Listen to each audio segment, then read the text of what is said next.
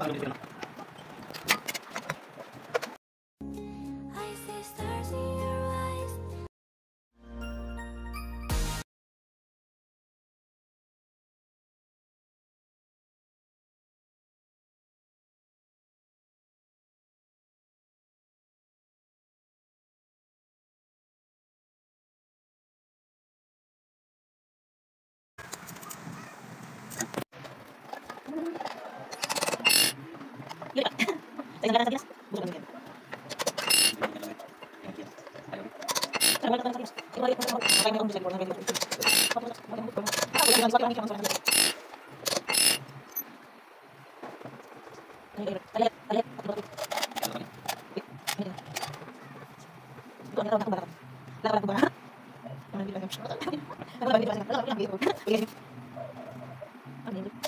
Ya, sudah.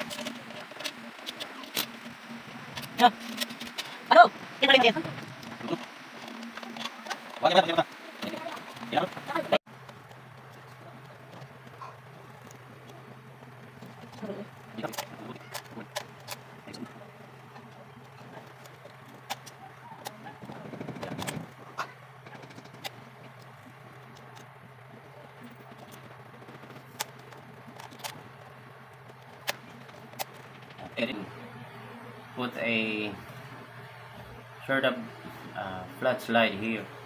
So we can give space a little bit under for for our uh, firewood is inside to be more breathable so the air can go inside to this point here right? That makes our burning uh, more stable producing its fire. Then we have it through these holes around.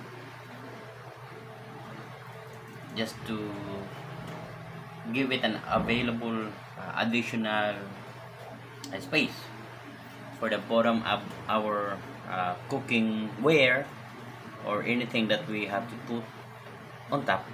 So it makes uh, space a little bit more aside from these holes also it provides more uh, uh, space for the air to come out and the smoke goes out here. It makes more fire so breathable inside. Okay guys. Uh, hope you will enjoy this uh, video and enjoy uh, what we have created with this uh, DIY using these empty cans. So handy and you can bring this anywhere with you whether on the beach whether on your camping uh, in the jungle camp whenever you want.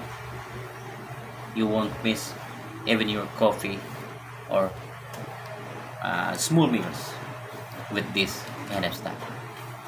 Alright guys if you really like this video then give us a thumbs up. Uh, firewood that we have uh, inserted to the uh, empty cans that we have made as a rocket stove. Now I need this stuff. This uh, sort of plastic and this lighter to light it up. Okay?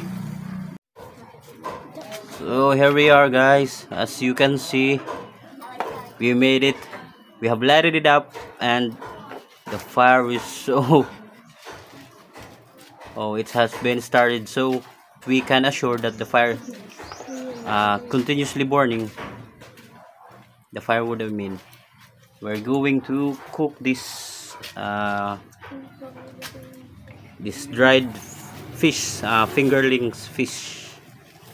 It's so dry that we used to uh, cook this for a dish here in the Philippines. We have here a cooking oil to fry this uh, dried fish fingerlings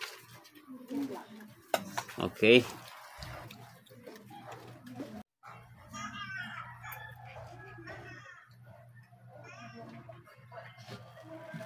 Nakalot mo? oo oh, anay